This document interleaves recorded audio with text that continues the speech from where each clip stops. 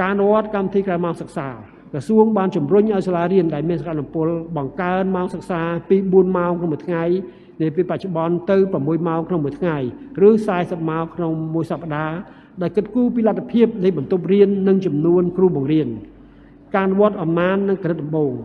គឺជាមូលដ្ឋានគ្រឹះដ៏សំខាន់របស់សិស្សនៅបឋមសិក្សានិងភូមិសិក្សាបន្តទៀតក្រសួងបាននឹងកំពុងពង្រឹងគុណភាពនៃការអប់រំកម្រិតបឋមសិក្សាតាមរយៈ ការលើកកម្ពស់អំណាចដំបូងគណិតវិទ្យាថ្នាក់ដំបូងបង្កើនចំនួនគ្រូបង្រៀនល្អភាសាខ្មែរថ្នាក់ទី1ទី2ទី3និងបង្កើតសាលាគំរូអំណាចដំបូងនិងដំបូងអនុវត្តសម្ភារៈអំណាចដំបូងថ្នាក់ទី1បានគ្រប់សាលាបឋមសិក្សាក្នុង22នៃខេត្តអំណាចដំបូងថ្នាក់ទី2អនុវត្តបាន19ខេត្តអំណាចដំបូងថ្នាក់ទី3អនុវត្តបានមួយខេត្តខេត្តកំពង់ឆ្នាំង កញ្ចប់សម្ភារៈគណិតវិទ្យាថ្នាក់ដំបូងបានអនុវត្តនៅ8ខេត្តនិងគណិតវិទ្យាថ្នាក់ទី2នៅ6ខេត្ត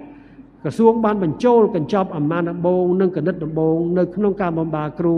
នៅតាមសាលាគុសលក្រសួងបាននឹងកំពុងរៀបចំសេចក្តីណែនាំស្តីពីការបង្កើតគ្រឹះស្ថានសិក្សា រួមទាំងសាលារៀនឧបសម្ព័ន្ធ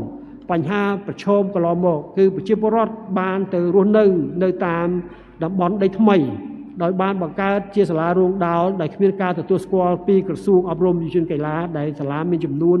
ជាង300ជាហេតុធ្វើឲ្យតម្រូវការនៃការសាងសង់អគារថ្មីកើនឡើងខ្លាំងដូច្នេះក្រសួងបាននឹងកំពុងរៀបចំស្តង់ដារសាលាឈើដើម្បីឲ្យសហគមន៍មុននឹងបង្កើតសាលាត្រូវតែមានហេដ្ឋារហិច្ចនាហិច្ចនារសម្ព័ន្ធច្បាស់លាស់ជាពិសេសគឺប្រើប្រាស់សាលាឈើតែម្ដងជាជាង ការសាងសង់សាលា ថ្មដែលថវិកាមានកម្រិត